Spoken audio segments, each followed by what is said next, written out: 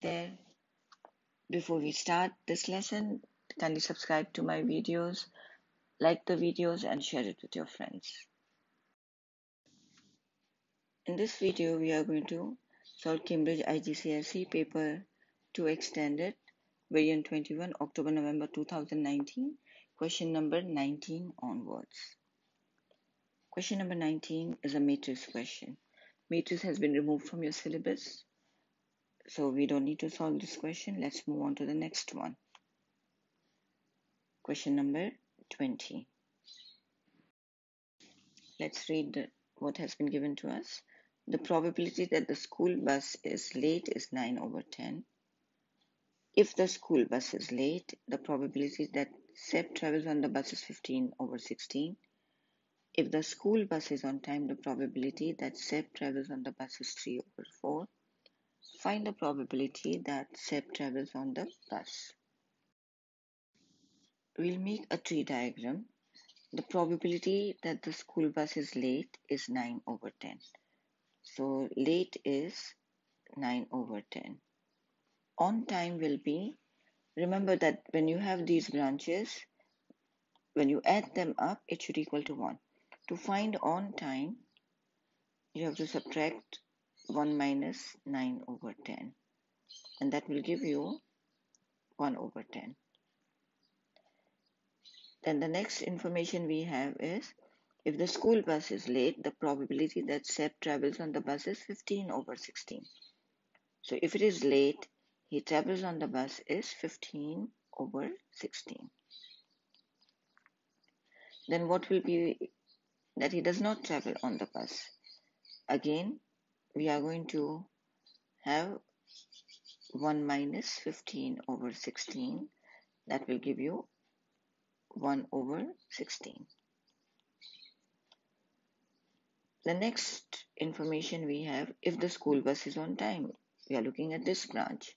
Seb travels on the bus is 3 over 4 so if it, the bus is on time he travels on the bus is 3 over 4 and then not travel on the bus will be 1 minus 3 over 4 which will give us 1 over 4. So now we have got our probabilities and we need to find the probability that Seb travels on the bus. The probability that Seb travels on the bus is when it is late and he travels on the bus. So you have late and goes on the bus. If you move to the branches this way, you multiply. And when you change the branch, you add. On time, and he goes by bus. So we are what is late? 9 over 10. Goes by bus 15 over 16. On time is 1 over 10 and goes by bus 3 over 4.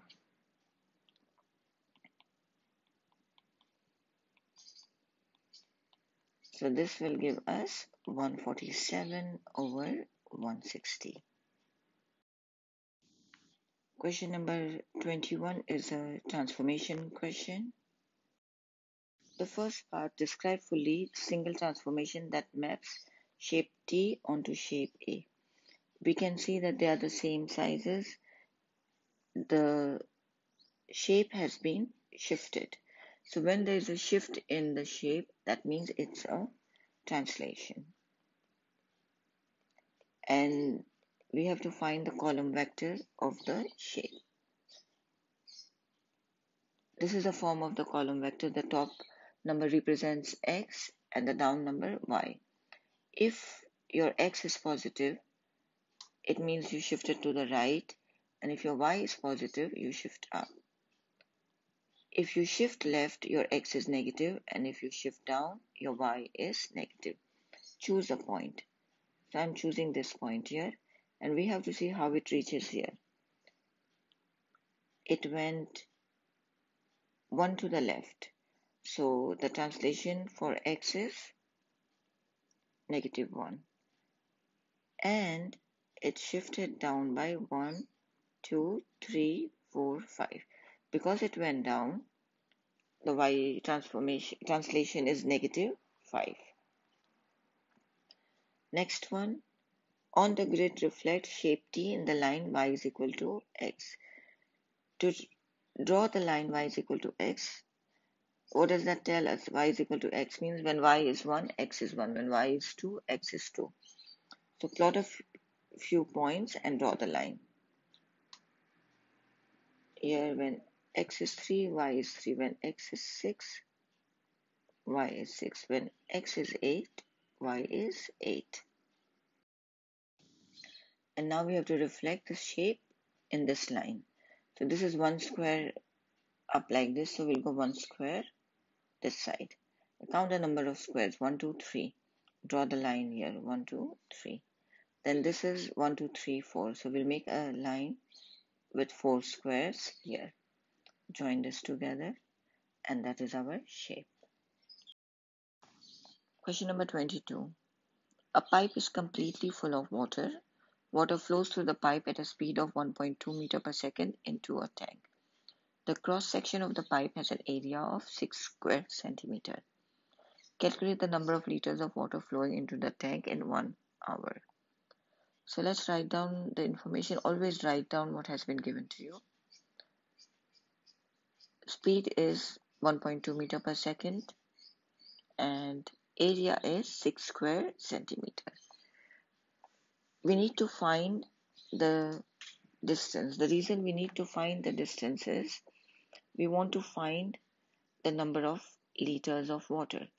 Number of liters of water whenever you have to find, you need to first find your volume. For volume, we have different formulas depending on the shape and all, but the basic one which applies to everything is volume is equal to area of cross section multiplied by the length or the height, whatever has been given to us. And that is the reason to find the length, we need to find the distance. Distance is equal to speed multiplied by time. Speed is 1.2 meter per second. And time is in one hour. So one hour. First, we will change the speed into centimeter. To do that, we have to multiply by 100 and to change the hour into seconds because we have seconds here we have to multiply by 3600 that is 60 minutes and in each minute there are 60 seconds so 60 multiplied by 60 put this in the calculator and you will get 43200 centimeter. So this is our distance. What is the area? 6. What is the length? 43200. When you multiply this, you will get 2592000. Because it's a volume, it's a cubic centimeter. To change a cubic centimeter into liters, 1 liter is equal to 1000 cubic centimeter. So the number of liters will be 2592000 divided by 1000 and we will get 2592 liters. There are a lot of things that you needed to know for this question. Write down on a paper all the important things and keep it in your mind. Question number 23 is a set question. The universal set is 0, 1, 2, 3, 4, 5, 6. Set A and set B has been given to us. Complete each of the following statements. A intersection B. Intersection means which is in set A and in set B. So which number do we have? We have 2 and 5. So that's our answer 2 and 5. then we have NB. N, if we have outside the bracket, it means we count the number of elements in B.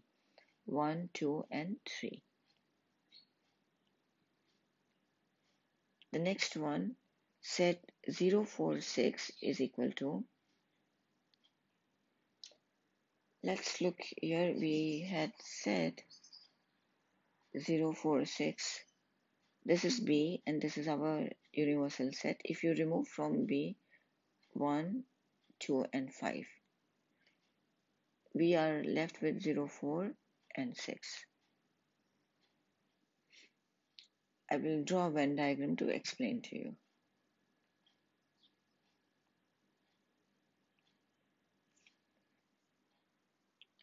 This is set A, this is set B, and 3 is not in set A or B. So 0, 4, 6 is this part. Whenever you have only A, that is the only A, not the overlapping part of B, the answer is A intersection, not B. And 2, 4, A. 2 and 4 are in A. So 2, 4, these elements are a subset of A. Question number 24 is a function question. A, find f of g of 3.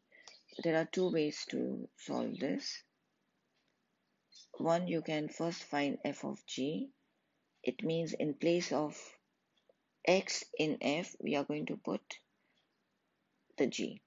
So f of g of x will be 3 2 to the power of x minus 3 and f of g of 3 will be in place of x put 3 and this will give you 19 the other way is first find g of 3. So 2 to the power of 3 is 8. And then substitute this in f8. So 3 times 8 minus 5.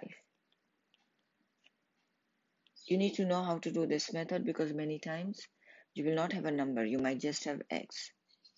Next, find the f inverse x. To find the inverse, we write down this equation, but in place of f of x, we are going to write y. y is equal to 3x minus 5. We have to make x the subject. So y plus 5 is equal to 3x. This is a multiply. When I bring the 3 to the other side, it's going to be a divide. After this step, in place of x we write f inverse x and in place of y we write x. This is the way to find the inverse. Question number 25 is a vector question. Let's read and write down what has been given to us. We'll start with here. OP is equal to P. So this is equal to P and OQ is equal to Q. So this whole line is Q and this whole line is P. The next part, OP is equal to 2OA. So the whole OP is twice OA. It means OA is half of P. Half P. And the other thing that is given to us is OQ is 3 times OP. The whole OQ is 3 times OP. So OP is one third of OA, which is one third Q. Okay, so this is what we have now. We need to find BA. To find BA, we are going to go through BO plus OA.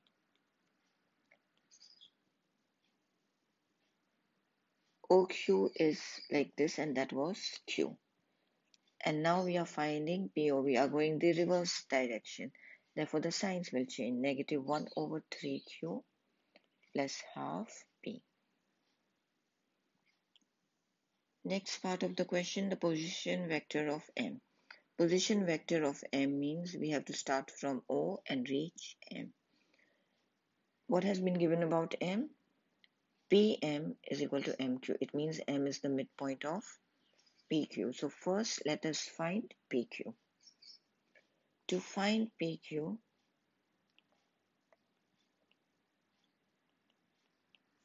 we will use PO plus OQ.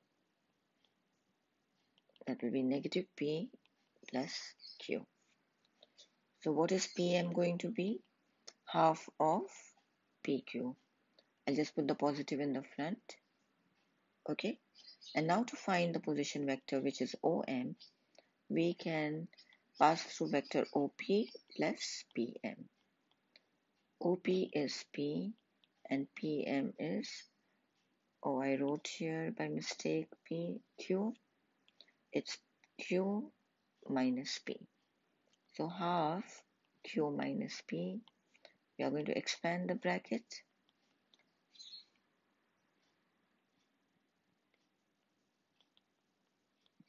P minus half P will give us half P plus half Q. So the position vector of m is half p plus half q. Question number 26 is a speed time graph question. Let's read the question. A car travels at 20 meter per second for 15 seconds. So this is it. Before it comes to rest by decelerating at 2.5 meter per second square. Find the total distance traveled. The total distance traveled in a speed time graph is the area under the curve. To find this area, we need to find this point here. And we can find that by uh, using the formula. You have been given deceleration. Acceleration or deceleration is equal to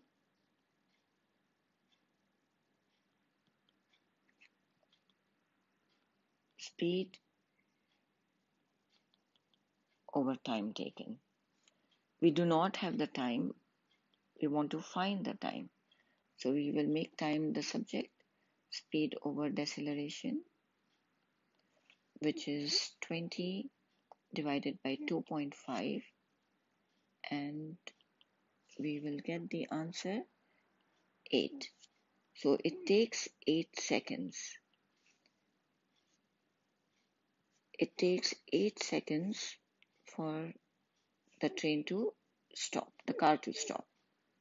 So 15 plus 8 will be 23. Now that we know this value, we can find the area under the curve by using the trapezium rule. This is the trapezium rule. Half a plus b h. A and b are your parallel sides and h is your height. So let's replace the values. Half A is 23 and B is 15 and height is 20.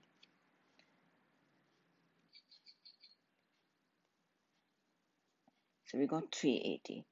The total distance traveled is